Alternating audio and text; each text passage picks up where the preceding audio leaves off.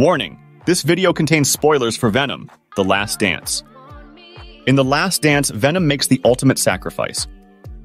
To save Earth from the xenophages and destroy the Codex, Venom drags the creatures beneath an acid shower at Area 51. As Rex Strickland aids him, Venom ejects Eddie Brock, ensuring his survival while sacrificing himself. The battle against the xenophages claims the lives of many symbiotes and their hosts. Notably, Lasher and Phage perish, along with their hosts. Sadie Christmas survives, despite losing her symbiote. The film features various symbiotes, but only Agony, bonded with Dr. Payne, survives the ordeal. Rex Strickland, played by Chiwetel Ejiofor, sacrifices himself in a heroic act. Caught in the acid rain, he detonates a grenade, aiding Venom in defeating the Xenophages. This marks a noble end for Strickland, who had been an antagonist earlier in the film.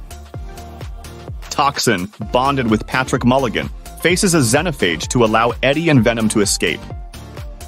Despite their efforts, both Toxin and Mulligan are killed, marking the first casualty among the symbiotes in the film. Eddie Brock's conscience is tested when he kills a soldier in self-defense. This act, though not heavily emphasized, marks Eddie's first kill in the Venom trilogy, adding a layer of complexity to his character. Dr. Payne, portrayed by Juno Temple, is haunted by her brother's death.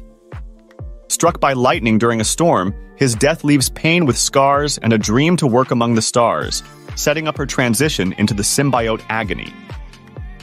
The final battle is brutal, with numerous soldiers falling to the Xenophages.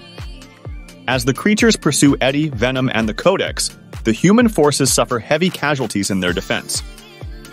Despite the losses, Eddie Brock survives, visiting the Statue of Liberty in Venom's honor.